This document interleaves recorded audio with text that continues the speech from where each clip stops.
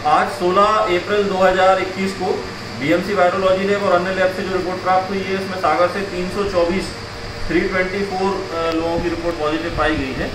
इसके अलावा जो अभी जो पॉजिटिव केस की संख्या एक्टिव केसेस की संख्या 1535 हो गई है। इसी के साथ 25 लोग जिनका इलाज चल रहा था बीएमसी से डिस्चार्ज कर दिए गए हैं। वहीं एक मृत्यु की सूचना भी है। तो आप सबसे अनुरोध करूँगा कि सावधानी बनाए रखें। सुरक्षित रहें आज के यही अपडेट है। नमस्कार।